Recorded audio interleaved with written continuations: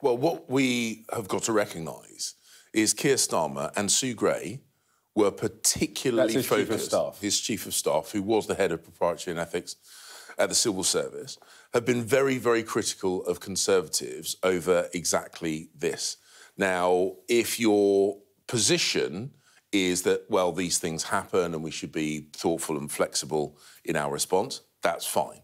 But if, like Keir Starmer, you have been really aggressive in your criticism of Conservatives for this, then you've got to make sure that you are totally above reproach. And he has failed to do that. And so I think it's absolutely legitimate that we point out the hypocrisy of someone who basically got his job by criticising others for what he is now doing. That's all a bit strong. When you say exactly this, you're not comparing the failure to declare some closed with Partygate or Matt Hancock's behaviour or Tractorgate, are you? You're not, you're not seriously saying this is in the same category The point of, is of transgression. So the point is, Keir Starmer has said over and over again that you know there are there, there is no flexibility. This is what you have to do, and he's failed to do it. And we are highlighting his hypocrisy, which I think is now showing a pattern of behaviour. The disregard he has got when we look at the appointment. or just, or just No, no, inco- in, in,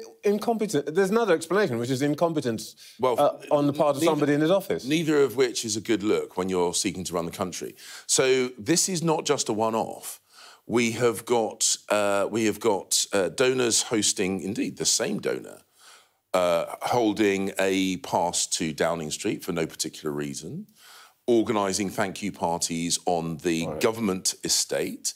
We've got people running around the Department of Health, lobbyists who make money from understanding the inner workings of government, running around the You're, you're department without a referring to the former Health Secretary, Alan Exactly. Milburn. A I whole think. load of other donors and supporters getting I, I think getting you would passes that description, by the way. getting passes as clearly a thank you. And the Labour government have been very critical of us, and we can discuss how valid those criticisms are. But this hypocrisy is being felt. It's being brought up with me right. when I knock on doors. All right. Well, let's let's um, talk about uh, the actual business of government. And uh, start, you were foreign secretary. I assume you would have gone to Washington and made the same case on Ukraine uh, as Keir Starmer did, which is to allow the Ukrainians to use British-made weapons to fire uh, missiles into Russia. Are you disappointed with the Americans' response? Well, when it was my responsibility, Ben Wallace, uh, when he was a defence secretary, and I lobbied very, very hard for the Western nations to donate main battle tanks to Ukraine. The UK led the field on that, and other members of uh, NATO followed suit. We led the field when it came to the donation of uh, the long range missiles that we're now talking about. That's had uh, a very, very significant effect in the Crimea. And I think it's disappointing that uh, Keir Starmer and David Lammy have failed to secure international agreement for Ukraine to use these missiles in their self defense against the launch sites of those weapons that are currently hitting civilian infrastructure, energy infrastructure. Uh, it's complicated negotiations, but we've had a successful track record up until now, and I really hope that they will continue pushing on this. What What would you do if uh, you were still in government and the Americans don't change their policy, don't change their stance? You mentioned Ben Wallace. Uh, he and four other defence secretaries said this morning Britain should just go it alone and give the Ukrainians permission to use our missiles in the way that they want. Would you do that? Well, our job is to influence others. That's what we did when we were in government. That's what I did when I Well, was. no, our job, secretary. our job is to tell the Ukrainians how to use the weaponry we give them. And I'm just asking you, would you give them permission Well, to use the weaponry in the way they want to? Well, my position on this is long-standing and clear. When I was in uh, Estonia um, in the spring of last year, I made it absolutely clear that it is not credible to demand that the Ukrainians defend themselves against these long-range missile attacks if they're not able to neutralise the launch sites of these missiles. So My personal position on this has been long-standing and clear.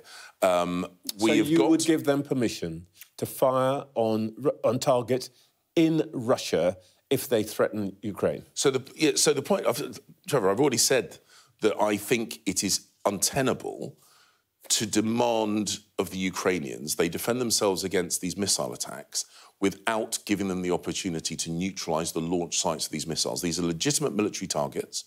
They are the launch sites of missile systems and drone systems, which are going against civilian infrastructure in Ukraine, including, uh, as we've seen, uh, schools, hospitals, as well as the energy infrastructure. So, so my position on this has been long-standing, and actually, it's because from my time as Foreign Secretary, but also my time as Home Secretary, that I recognise how dangerous and volatile the world is.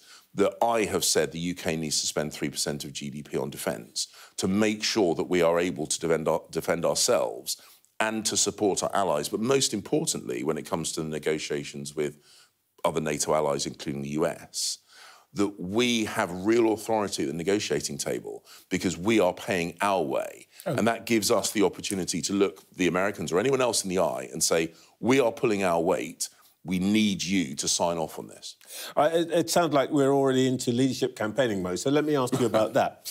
Um, earlier this week, you said that you felt you might have been too diffident about your time, uh, your achievements in office. Um, so, a massive wave of migrants in small boats, a Rwanda policy that costs half a billion to send precisely zero asylum seekers nowhere, a loss of 251 seats.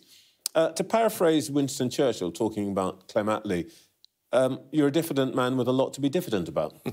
I'm very proud of my record in uh, in office. As I say, when I was in uh, when I was in the Foreign Office, when I was Foreign Secretary, uh, I was the uh, first to visit uh, Israel after the brutal uh, terrorist attacks. I, as I say, was instrumental in making sure that Ukraine had main battle tanks and further support from the West. And when I was at, the Home Office, under my tenure, the year-on-year figures showed that the um, uh, all the key metrics upon which we were measured uh, year on year small boat arrivals, year on year asylum applications, year on year grant rates, year on year deportation rates. All these things were heading in the right directions. I, I, I made sure I made sure that we sent foreign national offenders back to their country uh, of origin.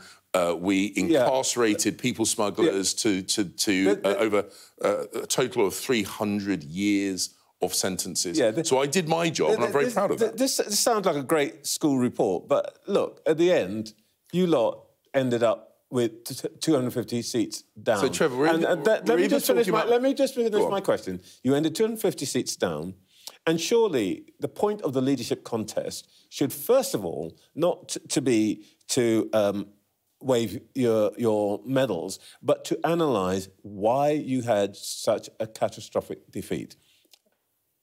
And I've done that. Um, now, you haven't followed me around the country whilst I've spoken to the members of our party about what went. I regret wrong. that so much, James. You know, uh, but the look, the point is, I I said that we didn't. We you know we we don't get everything right in government. No government does. We achieved a lot, but our achievements were obscured by the uh, by a lot of the infighting, a lot of the rowing, a lot of the bad behaviour that we've seen, which we need to get a grip of. And I've made the point that I'm best placed to do that because you know I have always uh, conducted myself in a way that I am proud of, and all that I would ask of others is that they follow suit. But the point is that every single person running in this leadership race has got a record in government they need to defend.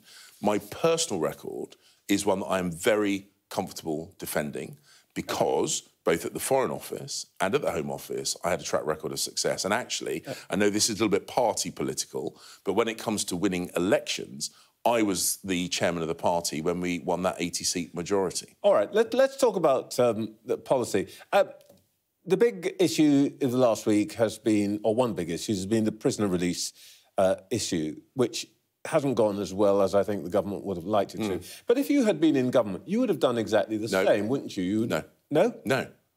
No, and look, this is you, you. You would not have instigated the early release scheme, not in the way that they have done it. And this is a really important point. We've seen this with the winter fuel allowance and the prisoner release scheme. These are rookie errors by an arrogant and inexperienced uh, government. Uh, the steady on. Uh, no, no, Trevor, uh, no, whatever their attitude is, so let me they're explain. dealing with a problem that you created. No, no, let me explain the situation. You created it. Trevor, let me explain the situation here. The civil service and the Treasury have been trying to kill off the winter fuel payments for years. They present this as an idea to every incoming Chancellor, and every incoming Conservative Chancellor has said no. Rachel Reeves has turned up. They've done the same thing to her as they've done to Conservatives, presented her with this toxic idea, and she rashly said, yes, we'll do that, and they're now living with the consequences. With regard to prisoner release, again, these are proposals the civil service put in front of us, and we rejected. I expelled foreign national offenders to free up prison places. We you were able to reject it because let, at the let, time you inherited it, you had hundreds of prison places spare. You left the country with kept, what, 100? We kept in a in a state of 89,000 places. We kept hundreds of prison places available through the actions that we took, including deporting foreign national offenders including a better management of the system. Now, what's happened is the new government's come along, the civil service have pre presented the neat and tidy answer that they wanted, which we could see was wrong. And again, this naive and inexperienced government went for it, and we're now seeing the consequences where sexual offenders, where uh, domestic abusers, career criminals are being released in huge numbers and it's backfired, which is why we had said no to it. The point is, okay. government is about decisions and choices. Okay. The Labour government have made catastrophically foolish choices. Their priorities all are all wrong. And in let's, government, let's, we were doing it very differently. Let, us deal with a choice that you've got um, in the last part of this uh, interview. The real threat um, to Tories, aside from your record, uh, is reform. You said that Nigel Farage has no place in your party. There will be no deal. Mm. If you stand by that, uh, are you prepared to see the Labour Party in government for a decade because the right remains divided? No, this is this, Trevor. Your your analysis is completely off. Completely off. The the conser- four and a half million votes. The conservative, yeah, and, the, and what you do at elections, he made is, you lose. Is you make the case to win those voters back. You failed. And I don't. You didn't win. You and didn't... I, Sorry, carry on. The point is, Trevor, at elections you make the case to win people back. And what happened is that we lost the confidence of voters. We need to regain that credibility. We need to have an honest conversation about the relationship between the, uh, the state, uh, the levels of taxation, the levels of immigration, and what we're going to do about it. The, the, the lazy idea that somehow cutting a deal with Nigel Farage will make all those problems go away, I think is naive at best and deeply counterproductive at worst. We need to make the case, the Conservative case for lower taxes, for more entrepreneurialism, for stronger borders, okay. for strong defence. And if we do that, the voters that went off to reform will come back, as will those that went off to the Lib Dems, the half dozen or so that went off to Labour, and the millions that just stayed at home. We can and we should win those voters back by being ourselves, not doing some pale imitation of someone else. James Cleverly, thank you very much for your time this Cheers, morning.